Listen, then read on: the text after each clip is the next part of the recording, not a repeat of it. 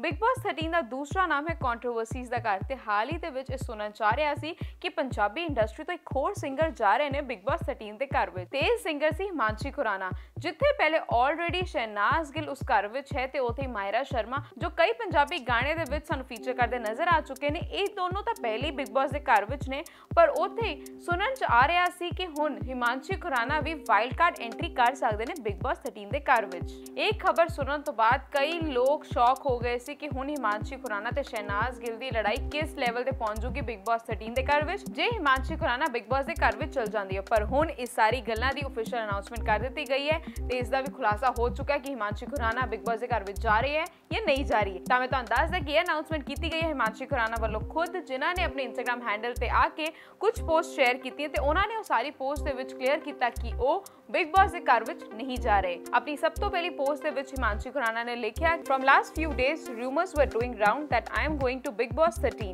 so here is an official announcement from me I am not going in Big Boss house as a wildcard contestant and I want to clear many things with my audience and national media ਉਹਨਾਂ ਨੇ ਆਪਣੀ ਅਗਲੀ post ਦੇ ਵਿੱਚ ਦੱਸਿਆ ਕਿ ਉਹਨਾਂ ਨੂੰ ਪਹਿਲੇ ਵੀ ਆਫਰ ਆਇਆ ਸੀ ਤੇ ਉਹਨਾਂ ਨੇ ਆਫਰ ਡਿਕਲਾਈਨ ਕੀਤਾ ਸੀ ਕਿਉਂਕਿ ਬਿਗ ਬਾਸ ਦੇ ਜੋ ਰੂਲਸ ਸੀ ਉਹਨਾਂ ਦੇ ਵੈਲਿਊਜ਼ ਦੇ ਅਗੇਂਸਟ ਸੀ ਤੇ ਹੁਣ ਉਹਨਾਂ ਨੂੰ ਜਦੋਂ ਵਾਈਲਡ ਕਾਰਡ ਐਂਟਰੀ ਦੇ ਨਾਲ ਕੰਟੈਸਟੈਂਟ ਬਣਨ ਦਾ ਮੌਕਾ ਮਿਲਿਆ ਤਾਂ ਉਹਨਾਂ ਨੇ ਫੇਰ ਤੋਂ ਇਸ ਆਫਰ ਨੂੰ ਡਿਕਲਾਈਨ ਕੀਤਾ ਤੇ ਇਹ ਆਫਰ ਉਹਨਾਂ ਨੇ ਡਿਕਲਾਈਨ ਕੀਤਾ ਆਪਣੇ ਬਿਜ਼ੀ ਸਕੇਡਿਊਲ ਦੇ ਚੱਲਦੇ ਤੇ ਇਸ ਪੋਸਟ ਦੇ ਵਿੱਚ ਉਹਨਾਂ ਨੇ ਲਿਖਿਆ फर्स्ट ऑफ ऑल हमारी मीटिंग हुई थी बिग बॉस टीम के साथ They want me as a contestant over there for the show but उस टाइम उनके रूल्स मेरी वैल्यूज के अगेंस्ट जा रहे थे सो so हमने अवॉइड किया वहां जाना देन अभी उनके रूल्स चेंज हुए थे and they want me as wild card contestants but I am jam packed with my schedule committed for shoots, events, digital endorsements, personal vacations, etc. in advance. So because of our schedule and our conditions, so this Bigg Boss thing wouldn't work for me so ਜੀ ਉਹਨਾਂ ਨੇ ਬਿਗ ਬਾਸ 13 ਦਾ offer decline ਵੀ ਕਰ ਦਿੱਤਾ, ਪਰ ਨਾਲ ਦੇ ਨਾਲ ਉਹਨਾਂ ਨੇ ਆਪਣੇ ਕੰਮ ਦਾ ਥੋੜਾ ਜਿਹਾ ਬੂਸਟ ਵੀ ਕਰ ਦਿੱਤਾ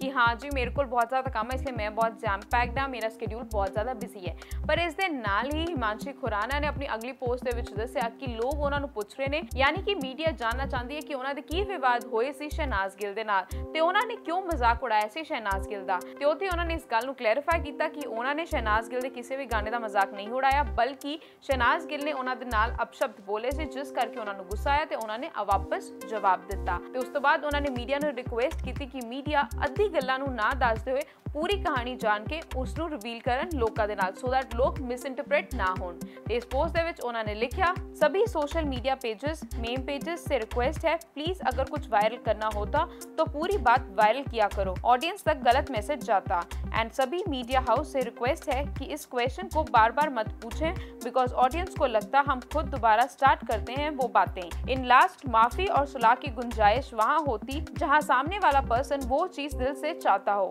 बट मेरे फैंस बाकी ऑडियंस सोशल मीडिया यूट्यूब इस बात के गवाह हैं कि time to time and even just before entering in Bigg Boss 13 and national TV पर भी उनकी तरफ़ मेरे मुँह तोड़ने की बात की गई है। अगर मैं बिग बॉस 13 में जाती तो इसलिए नहीं जाती कि वहाँ कौन है, कौन नहीं। मुझे फाइट सीन से पहले भी फर्क नहीं पड़ता था और अभी भी नहीं पड़ता मैं बहुत आगे निकल आई हूँ उस बात से ਇਹ ਸਾਰੀ ਪੋਸਟ ਦੇ ਵਿੱਚ ਉਹਨਾਂ ਨੇ ਇਸ਼ਾਰਾ ਦੇ ਦਿੱਤਾ ਕਿ ਪੁਰਾਣੇ ਵਿਵਾਦਾਂ ਦੇ ਨਾਲ ਉਹਨਾਂ ਨੂੰ ਬਹੁਤ ਜ਼ਿਆਦਾ ਫਰਕ ਪਿਆ ਸੀ ਤੇ ਉੱਥੇ ਉਹਨਾਂ ਦੀ ਮਦਰ ਡਿਪਰੈਸ਼ਨ ਤੋਂ ਵੀ ਗੁਜ਼ਰੇ ਸੀ ਜਿੱਥੇ ਉਹਨਾਂ ਦਾ ਬ੍ਰਦਰ ਵੀ ਕਾਫੀ ਜ਼ਿਆਦਾ ਹਰਟ ਹੋਇਆ ਸੀ ਤੇ ਇਹ ਸਭ ਗੱਲਾਂ ਦੇ ਬਾਰੇ ਉਹ ਦੁਬਾਰਾ ਗੱਲਬਾਤ ਨਹੀਂ ਕਰਨਾ ਚਾਹੁੰਦੀ ਹੈ ਤੇ ਨਾਲ ਦੇ ਨਾਲ ਉਹ ਮੀਡੀਆ ਨੂੰ ਰਿਕੁਐਸਟ ਕਰਦੀ ਕਿ ਇਹ ਕੁਐਸਚਨਸ ਉਹ ਬਾਰ-ਬਾਰ ਨਾ ਚੱਕਣ ਤੇ ਨਾਲ ਹੀ ਨਾ ਪੋਸਟ ਦੇ ਵਿੱਚ ਉਹਨਾਂ ਨੇ ਸ਼ਹਿਨਾਜ਼ ਗਿੱਲ ਤੇ ਇਸ਼ਾਰਾ ਤੰਦੇ ਹੋਏ ਕਹਿ ਦਿੱਤਾ ਕਿ ਉਹਨਾਂ ਨੇ ਉਹਨਾਂ ਦੇ ਮੂੰਹ ਤੋੜਨ ਦੀ ਗੱਲ ਵੀ ਕਹੀ ਸੀ ਤੇ ਨਾਲ ਦੇ ਨਾਲ ਉਹਨਾਂ ਨੂੰ ਸ਼ਹਿਨਾਜ਼ ਗਿੱਲ ਦੀ ਪ੍ਰੈਜ਼ੈਂਸ ਦੇ ਨਾਲ ਕੋਈ ਫ਼ਰਕ ਨਹੀਂ ਪੈਂਦਾ ਕਿ ਬਿਗ ਬਾਸ 13 ਦੇ ਘਰ ਵਿੱਚ ਕੌਣ ਹੈ, ਕੌਣ ਨਹੀਂ। ਉਹ ਆਪਣਾ ਕੰਮ ਕਰਨਾ ਚਾਹੁੰਦੇ ਆ ਤੇ ਉਹ ਕਰਦੇ ਰਹਿਣਗੇ। So as a responsible Punjabi artist ਉਹ ਆਪਣਾ ਕੰਮ ਕਰਨਾ ਚਾਹੁੰਦੇ ਆ ਤੇ ਬਿਗ ਬਾਸ 13 ਦੇ ਵਿੱਚ ਉਹ ਨਹੀਂ ਜਾ ਰਹੇ as a wild card entry